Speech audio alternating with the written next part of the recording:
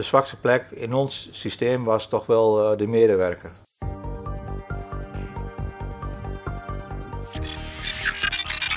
Een medewerker heeft waarschijnlijk op een linkje geklikt en zo de ransomware binnengehaald. Zodat de hacker uiteindelijk gewoon zijn gang kon gaan in ons systeem. Alles was slot, dus we konden niet meer op de engineering. productie konden we niet aansturen omdat we heel veel met data doen.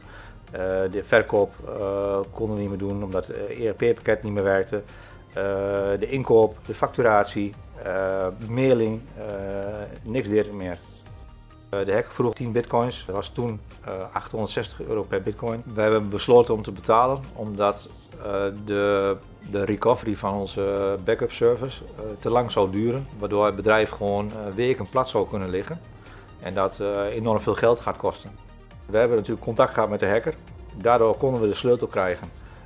En heeft mijn systeembeheerder, die heeft alle computers en server weer schoongemaakt. Imagoschade hebben we eigenlijk niet gehad omdat we heel snel hebben gereageerd. Dus we hebben echt gekozen om de hacker te betalen. financieel is natuurlijk gewoon dat je de hacker betaalt, je server compleet geblokkeerd hebt, waardoor je ja, alles moet ontsleutelen en het tijd kost en dus ook geld kost. Dus je, je kunt niet door met je productie. Ik wou niet meer bang zijn dat een medewerker op een verkeerd linkje klikte en weer alsnog hetzelfde gebeurde. Dus zo hebben we ook onze mail helemaal beveiligd. Dus uh, een computerrobot bekijkt de mail op uh, phishing en ransom voordat hij in de mailbox binnenkomt. De medewerkers die moeten allemaal een bepaald wachtwoord maken en om de drie maanden wordt het wachtwoord vernieuwd. De computers worden om het half uur zeg maar, eh, uitgeschakeld op het moment dat ze niet meer actief zijn. Uh, dat was hier ook zeg maar, nog wel eens aan de orde dat die computers gewoon aanstonden de hele nacht erdoor. Uh, wat ook gewoon een gevaar kan opleveren.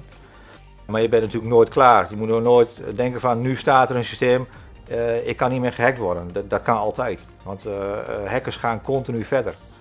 die ontwikkelen zich enorm. Kijk, Microsoft zei er ook stukken over dat het naar de 8000 miljard dollar gaat.